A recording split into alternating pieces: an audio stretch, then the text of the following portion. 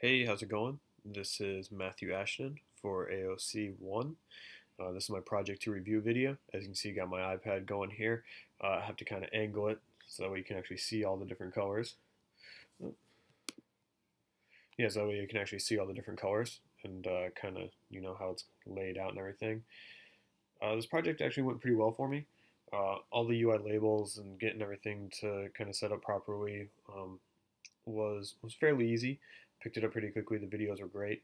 Just kind of followed along and then just kind of tweaked everything. A lot of, you know, choosing different sizes and different positions just to kind of get the layout that you want.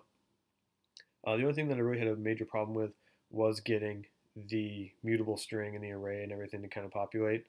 See, it's kind of down there. It's not really working out too properly. But if you look over at my code over here, um, the mutable string did, uh, like I said, I got the for loop, everything running through. I was having a problem uh, where I was it was still adding a comma at the end after my last string in the array, but I added an if statement in there so when it gets to the end of the array to uh, add a period instead and to break away from the uh, from the loop, and that seemed to fix it. So I wish I could get this to show up better, but it's tough with the glare. Oh, there we go. So now at the very end of Starship, it adds a period instead of a comma, and the word ends in there. But again, everything shows up, all the different colors. So yeah, it was a great week.